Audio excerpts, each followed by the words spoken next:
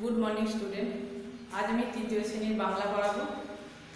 দেখো, আমার আগের দিনে কিছু প্রশ্ন আছে, সেই প্রশ্নগুলো আলোচনা করব, আর তার সঙ্গে আমাদের গ্রাম বন্দারে মিয়া কবিতাটি আমি আলোচনা করব। দেখো, আগে সতেরো পৃষ্ঠে আমাদের কিছু প্রশ্ন ছিল, বিপরীত শব্দ পদান্তর সন্ধি বিচ্ছেদ সেগুলো একটু আলোচনা করব, দেখো। প্রথমত বিপরীত শব্দ দেওয়া আছে, প্রশংসা প্রশংসা হবে। নিন্দা। সুর সুর হবে বেসুর তফাত, তফাতটা মিল, সামান্য, অসামান্য, ঢালু, সমতল, চোখালো, অর্থাৎ ধারালো, সেটা হবে ভোতা শক্ত, নরম। তারপর দেখো পদান্তর দেওয়া আছে। পদান্তর কি আছে? গোলাপ। গোলাপটা হবে গোলাপি। নাক, নাকটা হবে নাকি জন্তু জন্তু হবে যান্ত ফুল, ফুলেলো রকমানিটা রকম। একঘেয়েটা একঘেয়েমি সন্তুষ্টটা সন্তোষ আর উচিতটা উচিত আর সন্দেহটা সন্দিগ্ধ। তারপরে দেখো দেওয়া আছে কি দেওয়া আছে? তারপরে দেখো দেওয়া আছে সন্ধি বিচ্ছেদ করো। দেখো সন্ধি বিচ্ছেদ কি কি দেওয়া আছে? একবার দেখে না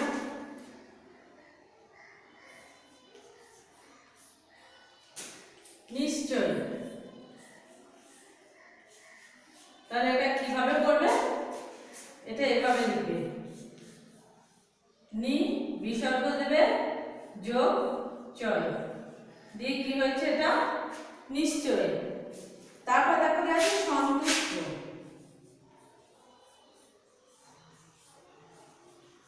এটা কি লিখবে? সম যোগ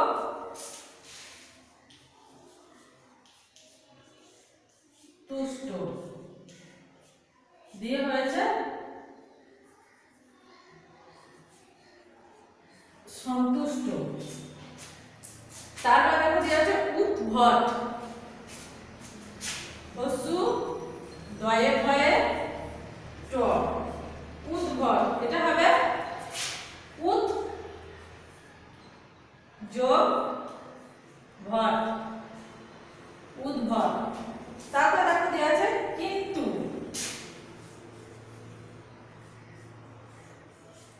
এটা হবে কিম, ময়া হসন্ত দেবে যোগ টু দিয়ে হয়েছে কিন্তু। তারপরে দেখো দেওয়া আছে? সন্দেহ।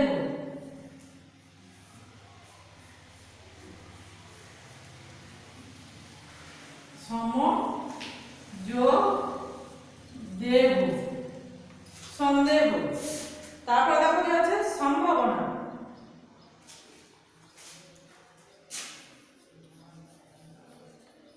সম্ভাবনা কি লিখবে সম যোগ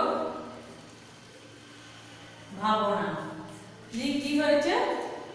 সম্ভাবনা। তাহলে এই প্রশ্নগুলো থাকবে, তার সঙ্গে আমাদের কিছু কি আছে? কিছু প্রশ্নর সঙ্গে কবিতা আছে। এবার আমি আলোচনা করব কবিতাটি। আমাদের গ্রাম। আমাদের গ্রাম কবিতার কবি হচ্ছেন বন্দারি মিয়া। তিনি বাংলাদেশের রাজশাহীতে জন্মগ্রহণ করেছেন। এখানে, অর্থাৎ এই পাঠে তিনি আমাদের গ্রাম্য প্রকৃতিকে সুন্দরভাবে ফুটিয়ে তুলেছেন। সেই কথা এই কবিতায় দেওয়া আছে। গ্রামের, অর্থাৎ একটা গ্রামের বর্ণনা করা হয়েছে পাঠের মধ্য দিয়ে। আর সেই গ্রামের ছেলে মেয়েদের আচার আচরণ, কীভাবে তারা বড়দের সঙ্গে ব্যবহার করে, সেগুলো এই পাঠে আলোচনা করা হয়েছে বা কবি সুন্দরভাবে ফুটিয়ে তুলেছেন এই পাঠে। দেখো কি বলা হয়েছে এই পাঠে? আমাদের ছোট গায়ে ছোট ছোট ঘর, থাকি সেটা সবে মিলে নারী কেহ ঘর। এখানে কবি বলছেন, আমাদের গ্রামের ঘরগুলি খুবই ছোট ছোট। এখানে সবাই আমরা মিলেমিশে, অর্থাৎ সবাই একসঙ্গে মিলেমিশে বাস করি। পাড়ার সকল ছেলে মোরা, ভাই ভাই একসাথে খেলি আর পাঠশালে যায় মানে পাড়ার যত তার সমবয়সী বা তার থেকে ছোট যারা আছে, তারা সবাই তার ভাইয়ের সমান বা তারা সকলেই, ছোট বড় সকলেই ভাইয়ের মতো মিলে একসাথে তারা পাঠশালায় যায় অর্থাৎ তারা বিদ্যালয়ে যায়, হিংসা ও মারামারি কভু নাই করি পিতামাতা গুরুজনের সদা মারা ডরি। কি তারা কি করে? তারা একসঙ্গে স্কুলে যায়, তারা কখনো হিংসা ও মারামারি করে না। তারা পিতামাতাকে গুরুজন মনে করে এবং তারা সর্বদা তাদেরকে ভয় পায়। ভয় পায়। তারপর দেখো দ্বিতীয় প্যারাতে কি দিয়েছে?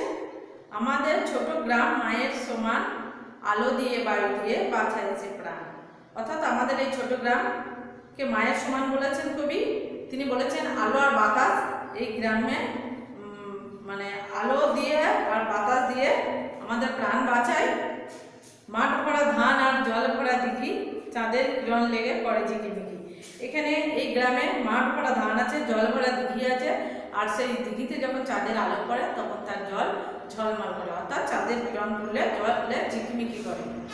তারপরে দেখা দেওয়া আছে, তিনের প্যারাতে দেওয়া আছে আম গাছ জাম গাছ বাঁশ ঝাড় যেন, মিলেমিশে আছে ওরা আত্মীয় যেন আম গাছ জাম গাছ বাঁশ গাছ, তারাও ঠিক যেন গ্রামগুলো যেমন আমাদের বলেছে যে বাড়িগুলো ছোট হোক, সবাই মিলেমিশে একসাথে বাস করে থাকি, সেই গ্রামে যে সমস্ত গাছগুলো আছে, তারাও ঠিক সেই ছোট আম গাছ, জাম গাছ, তারাও সেই সবাই নিজেদের আত্মীয়ের মতো মিলেমিশে তারা একসঙ্গে বস- বসবাস করে বা একসঙ্গে অবস্থান করে আছে, মিলেমিশে সকালে সোনার রবি দিকে ওঠে পাখি ডাকে বাড়ি বয় নানা ফুল ফোটে। সকালে যখন দিকে যখন সূর্য ওঠে, তখন পাখি ডাকে বাতাস বয়, এইসব পাখি ডাকে বায়ু বয় নানা ফুল ফোটে এইসব দৃশ্যগুলোই কবি গ্রামের মধ্যে দেখতে পান।